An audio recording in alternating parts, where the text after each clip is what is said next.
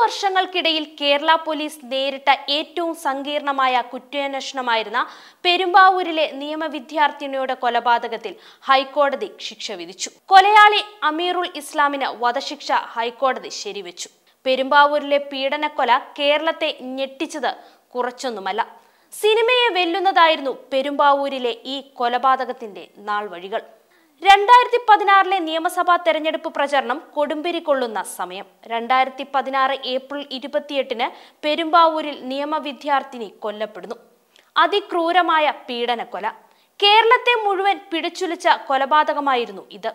കൊലപാതകം നടന്ന് രണ്ടു മാസത്തോളം സമയമെടുത്താണ് കൊലയാളിയിലേക്ക് പോലീസ് എത്തിയത്. ഏറ്റവും ചുരുക്കത്തിൽ പറഞ്ഞാൽ രണ്ടു മാസം രണ്ട് മന്ത്രിസഭകൾ രണ്ട് ആഭ്യന്തരമന്ത്രിമാർ രണ്ട് പോലീസ് ഡി ജി പിമാർ രണ്ട് അന്വേഷണ സംഘങ്ങൾ രണ്ട് ഫോറൻസിക് ടീം. ഇവർക്കൊപ്പം കോടതി മാധ്യമങ്ങൾ നാട്ടുകാർ തുടങ്ങിയവരുടെ അശ്രാന്ത പരിശ്രമമാണ് ഈ കേസിന്റെ വിജയം.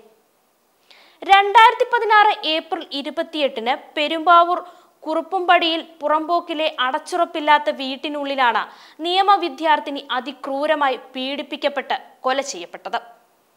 തുടക്കം മുതൽ അടിമുടി സങ്കീർണമായ കേസ്. തുടക്കത്തിലൊന്നും അമീറുൽ ഇസ്ലാമിലേക്ക് അന്വേഷണം എത്തിയില്ല. പ്രതിയുടേതെന്ന് സംശയിക്കുന്ന കറുത്ത ചെരുപ്പും ഇരയുടെ ദേഹത്ത് കണ്ട കടിയുടെ പാടും മാത്രമായിരുന്നു പോലീസിന് ആകെ കിട്ടിയ കച്ചിത്തുരുമ്പ്. സംഭവ ദിവസം പെരുമ്പാവൂരിലെ ടെലികമ്മ്യൂണിക്കേഷൻ ടവറുകൾ വഴി കടന്നുപോയ ഇരുപത്തിരണ്ട് ലക്ഷം ഫോൺ കോളുകൾ പോലീസ് പരിശോധിച്ചു.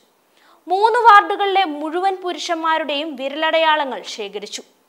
കൊലയാളി ധരിച്ചിരുന്നതായി കരുതുന്ന കറുത്ത ചെരുപ്പ് പൊതുജനങ്ങൾക്ക് കാണുന്ന ഇടങ്ങളിൽ കെട്ടിത്തൂക്കിയിട്ട് അന്വേഷണത്തിൽ ജനങ്ങളുടെ സഹായം പോലീസ് തേടി. നേരിട്ട് വിവരം നൽകാൻ ഭയമുള്ളവർക്ക് സ്വന്തം പേര് വെളിപ്പെടുത്താതെ രഹസ്യ വിവരങ്ങൾ കത്തിലെഴുതി നിക്ഷേപിക്കാൻ ഇരുപതിടങ്ങളിൽ എഴുത്തുപെട്ടികൾ സ്ഥാപിച്ചു. കേസിലെ ദൈവത്തിന്റെ അടയാളം എന്ന് പറയുന്നത് പോലെ ഇര കൊലയാളിയെ കടിച്ചപ്പോൾ കൊലയാളി ഇരയെയും തിരിച്ചു കടിച്ച പാടാണ്. ആ കടിയിൽ നിന്നാണ് കൊലയാളിയുടെ ഡി എൻ എ വേർതിരിച്ചെടുക്കാനുള്ള ഉമിനീർ സാമ്പിൾ കണ്ടെത്തിയത്. കുറ്റകൃത്യം നടന്ന ഉടൻ സ്ഥലത്തെത്തിയ ലോക്കൽ പോലീസ് നൽകിയ ഏറ്റവും വലിയ സംഭാവന. ഇത്തരം ഡി എൻ എ സാമ്പിളുകൾ വേർതിരിച്ചെടുക്കാനുള്ള തെളിവുകൾ ആദ്യ ദിവസങ്ങളിൽ തന്നെ ശേഖരിച്ചതായിരുന്നു. കൊല്ലപ്പെട്ട ഇരയുടെ ശരീരത്തിൽ കണ്ടെത്തിയ കടിയുടെ പാട് വിശകലനം ചെയ്ത് കൊലയാളിയുടെ പല്ലിന്റെ പ്രത്യേകത കണ്ടെത്തി. മുൻനിരയിലെ പല്ലുകൾക്കിടയിൽ വിടവുള്ള ഒരാളാണ് പോലീസ് അന്വേഷിക്കുന്ന കൊലയാളി എന്ന് വ്യക്തമായി.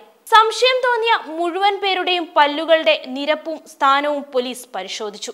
ഏറെ സംശയം തോന്നിയ ചിലരെ പച്ചമാങ്ങയിൽ കടുപ്പിച്ച് അതിന്റെ അടയാളം ഇരയുടെ ശരീരത്തിൽ ഏറ്റ പാടുകളുമായി താരതമ്യം ചെയ്തു. ഒരു ഘട്ടത്തിൽ പ്രതിയല്ലാത്ത ഒരാൾ കുടുങ്ങുമെന്ന നിലയിൽ വരെ കാര്യങ്ങളെത്തി. പോലീസിന്റെ മർദ്ദനമേറ്റ അയാൾ കുറ്റസമ്മതം പോലും നടത്തി.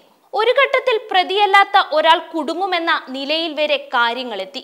പോലീസിന്റെ മർദ്ദനമേറ്റ അയാൾ കുറ്റസമ്മതം പോലും നടത്തി. സംസ്ഥാനത്തെ സമുന്നതനായ മുൻ ഫോറൻസിക് സർജൻ തെളിവുകൾ സഹിതം ചൂണ്ടിക്കാണിച്ച പ്രതിയായിരുന്നു അയാൾ. നിയമ വിദ്യാർത്ഥിനിയുടെ ശരീരത്തിലേറ്റ പല്ലുകളുടെ അടയാളങ്ങളുമായി നൂറ് ശതമാനം ചേരുകയും ചെയ്തിരുന്നു. എന്നാൽ പ്രതിയെ മാധ്യമങ്ങൾക്ക് മുൻപിൽ അവതരിപ്പിക്കും മുൻപ് ഡി എൻ എ പരിശോധനാ ഫലം പുറത്തുവരാൻ കേരള പോലീസ് തീരുമാനിച്ചതാണ്. അതിഥി തൊഴിലാളിയായിരുന്ന അയാൾ രക്ഷപ്പെടാൻ കാരണം. ഡി എൻ എ ഫലം നെഗറ്റീവായിരുന്നു. അപ്പോഴേക്കും മെയ് പതിനാറ് കഴിഞ്ഞിരുന്നു. അതായത് തിരഞ്ഞെടുപ്പ് കഴിഞ്ഞ് ഫലം വന്നു ഭരണം മാറി. പുതിയ അന്വേഷണ സംഘം എത്തി. മുൻ അന്വേഷണ സംഘം ശേഖരിച്ച ശാസ്ത്രീയ തെളിവുകൾ ഉപയോഗപ്പെടുത്തി പുതിയ ഫോറൻസിക് സംഘം നൽകിയ സൂചനകളെ പിന്തുടർന്ന അന്വേഷണ സംഘം യഥാർത്ഥ പ്രതിയിലേക്ക് വേഗത്തിലെത്തി. കൊലയ്ക്ക് ശേഷം നാടുവിടും മുമ്പ് പ്രതി അമീർ പുതിയ ഒരു ജോഡി ചെരുപ്പ് വാങ്ങിയിരുന്നു. ആ ചെരുപ്പ് കടക്കാരൻ നൽകിയ മൊഴിയാണ് പ്രതിയുടെ അറസ്റ്റിനെ കൂടുതൽ സഹായിച്ചത്. അപൂർവങ്ങളിൽ അപൂർവങ്ങളായ കേസാണിതെന്ന് വിലയിരുത്തിയ ഡിവിഷൻ ബെഞ്ച് പ്രോസിക്യൂഷൻ ഹാജരാക്കിയ ഡി എൻ എ പരിശോധനാ ഫലം ഉൾപ്പെടെയുള്ള ശാസ്ത്രീയ തെളിവുകൾ അംഗീകരിച്ചാണ് ശിക്ഷ ശരിവെച്ചത്. പെൺകുട്ടിയുടെ വസ്ത്രത്തിലും ശരീരത്തിലും കുറ്റകൃത്യം നടന്ന മുറിയിലും പ്രതിയുടെ രക്തക്കറയും ഉമിനീരും കണ്ടെത്തിയത് നിർണായക തെളിവായി. ബലാത്സംഗത്തിനുള്ള ശ്രമം പെൺകുട്ടി നിരന്തരം ചെറുത്തപ്പോൾ പ്രതികാരദാഹ്യത്തോടെ കുത്തി പരിക്കേൽപ്പിക്കുക മാത്രമല്ല മൃഗീയമായി സ്വകാര്യ ഭാഗങ്ങളിലടക്കം കത്തികൊണ്ട് മാരകമായി മുറിവേൽപ്പിക്കുകയും ആന്തരിക അവയവങ്ങൾ വലിച്ച് പുറത്തിടുകയും ചെയ്തു. പ്രതി അമീറുൽ ഇസ്ലാമിനെ വധശിക്ഷയും ബലാത്സംഗം ഉൾപ്പെടെയുള്ള കുറ്റകൃത്യങ്ങൾക്ക് ജീവപര്യന്തത്തിന് പുറമെ പതിനെട്ട് വർഷം കഠിന തടവും തൊണ്ണൂറ്റി ഒന്നായിരം രൂപ പിഴയുമാണ് എറണാകുളം പ്രിൻസിപ്പൽ സെഷൻസ് കോടതി വിധിച്ചത്.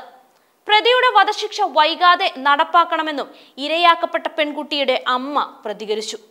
എന്നാൽ പ്രതിക്ക് വേണ്ടി ഹാജരായ അഡ്വക്കേറ്റ് ആളൂർ നിരപരാധിയെ ശിക്ഷിച്ചു എന്നാണ് പ്രതികരിച്ചത്. സാഹചര്യ തെളിവുകൾ മാത്രമുള്ള കേസിൽ എങ്ങനെ ഒരാളെ പ്രതിയാക്കുമെന്നും വധശിക്ഷ വിധിക്കുമെന്നും ഹർജിയുമായി സുപ്രീം കോടതിയെ സമീപിക്കാനാണ് തീരുമാനമെന്നും ആളൂർ പ്രതികരിച്ചു. ആളൂരിന്റെ പ്രതികരണത്തിനെതിരെ വലിയ വിമർശനമാണ് ഉയരുന്നത്. കോടതി പോലും രക്തം ഉറഞ്ഞു പോകുന്ന കൊല എന്ന് അഭിപ്രായപ്പെട്ടത് എങ്ങനെ ഇങ്ങനെ ഒരു കൊടും കുറ്റവാളിയെ ന്യായീകരിക്കുന്ന രീതിയിലേക്ക് മാറുന്നു എന്ന് അറിയില്ല.